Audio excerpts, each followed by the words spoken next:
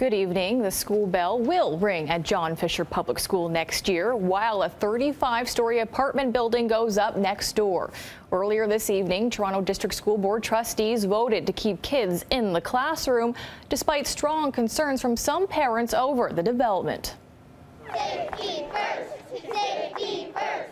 After months of furor and protest, including one last stand by parents this morning, All those in favor? Trustees voted this evening that John Fisher Public School and an apartment project next door will just have to coexist. I don't think you could possibly say it's a great location for a building. I'm not going to deny that.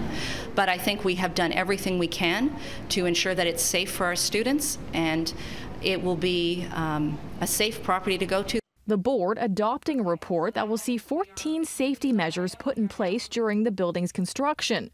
They include a large fence around the development, double pane windows to minimize noise, and air conditioning for when the school won't be able to open its windows due to noise and dust.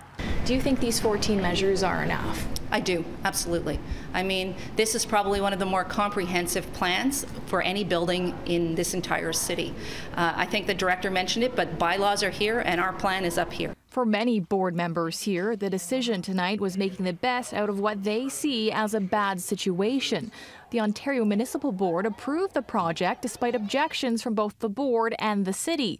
The 35 story apartment building is being built a mere 60 feet from the school near Yonge and Eglinton. We're caught in between a rock and a hard place. We've got to deal with a school. We were completely abandoned by every other level of government from the premier on down. And I don't think that what, what the board is being asked to do is at all appropriate. Some parents here feeling abandoned by the board, accusing it of not fighting hard enough against the development. In terms of parents, you know, the, our concern is fundamentally it's it's the safety, but it's also the health and the education of our kids. This is a three-year construction project. KG Group, the builder, has agreed to pay $500,000 for the safety measures. 65,000 will come from TDSB coffers. Representatives from KG Group declined to comment on camera tonight, but they said in a statement the mitigation measures we have put in place for 1830 Erskine are unprecedented compared to any other development in the city of Toronto. These mitigation measures, including on site third party monitoring, are secured in the TDSB's agreement with KG Group. It's going to be very safe. I mean, we're not sending kids back to a school we don't think is safe. That's not even, we would never do that.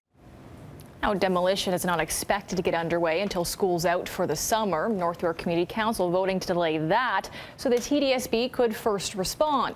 Now that a plan is approved, likely so too will be the permits.